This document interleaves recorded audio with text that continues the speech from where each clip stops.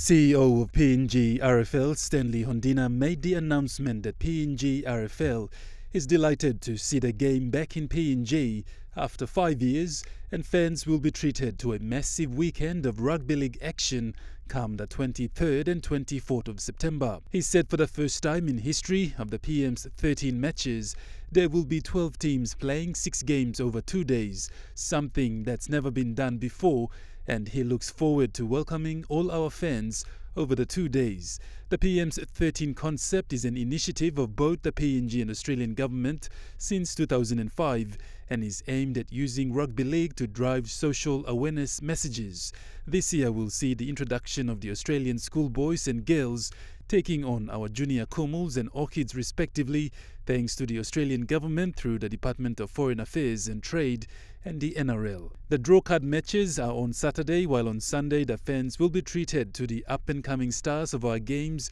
going head to head with the defence men and the final match of the day.